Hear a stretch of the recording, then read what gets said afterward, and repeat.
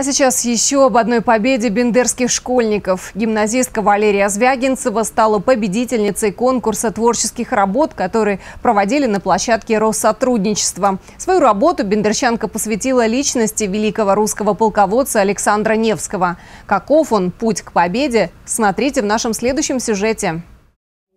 Участников больше ста. Такие конкурсы Россотрудничество проводит не впервые, но работу Валерии посчитали особенной. Дипломат, полководец и верный сын России Александр Невский оставил свой след и в истории нашего края. Об этом описала гимназистка, сумела перекинуть мостик из прошлого в будущее.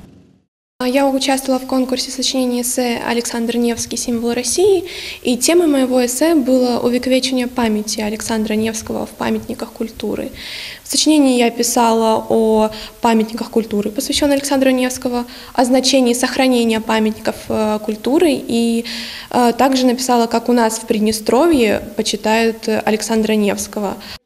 Чтобы написать такую работу, знаний только литературы и истории мало. Без обществознания, экономики и права не обойтись. И не ограничиваться интернет-ресурсами. Правила конкурса строгие. Все работы проверяются на антиплагиат. Мыслить оригинально и уметь пользоваться источниками. В гимназии учат на разных уроках. Вместе с учениками совершенствуются и учителя. Обучая, обучаюсь сам, говорит руководитель работы Валерии. Не получается так, что когда-то получили образование в далеком прошлом и на этом скажем так, закончился наш рост. Это все время приходится учиться, ориентируясь на то, что современные дети, они более развиты, более продвинуты, так сказать, во всех отношениях, поэтому и нам приходится каким-то образом соответствовать.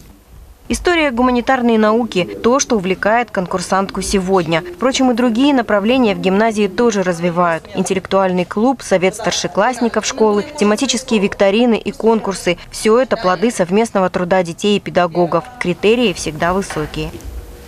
Мы всегда ставим во главу угла одно – выступить достойно. Достойно, престижно, профессионально. И э, мы, взрослые, стараемся личным примером показать как это сделать, помочь, ну, подвести к правильному решению той или иной проблемы.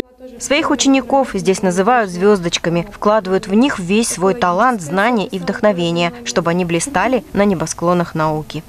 Елена Леонтьева, Иван Зелинский, Бендерское телевидение.